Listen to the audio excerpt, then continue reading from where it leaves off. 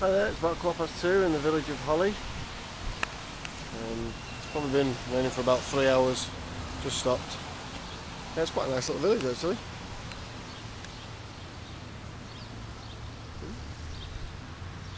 Just had our lunch in Sam's Diner. Yeah, about 60 miles in, so probably about 25 miles to do. Not been a great day because of the rain. But, uh, you know, the miles are ticking by, so can't grumble. Uh, Rochester tonight, and uh, send you another message when we get in. Hopefully, it'll stay dry now. Right, well, we just left Holley and uh, taking a detour because of uh, construction.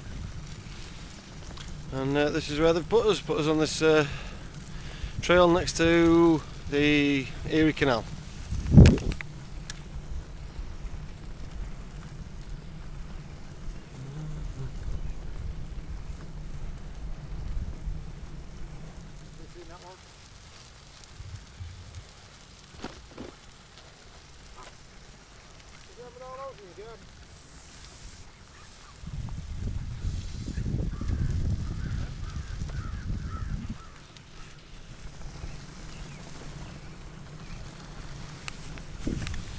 Don't know how long we can expect to be on here for, but makes a nice change. So, bye for now. Hey, just a quickie tonight. Uh, had a bit of a puncture today. Uh, one of the walls of one of my tyres has uh, become ripped. So, so I need to swap them over to um, stop happening again, basically. Uh, so five days of riding, hopefully it'll see me through. Um, so it's a bit of a concern. Uh, weather was awful today, rained all day.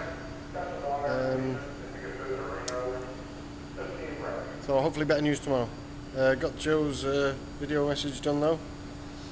Uh, hope she enjoys it. Hope you enjoy it if you're watching. And uh, I'll uh, speak to you all again when I can. Bye for now.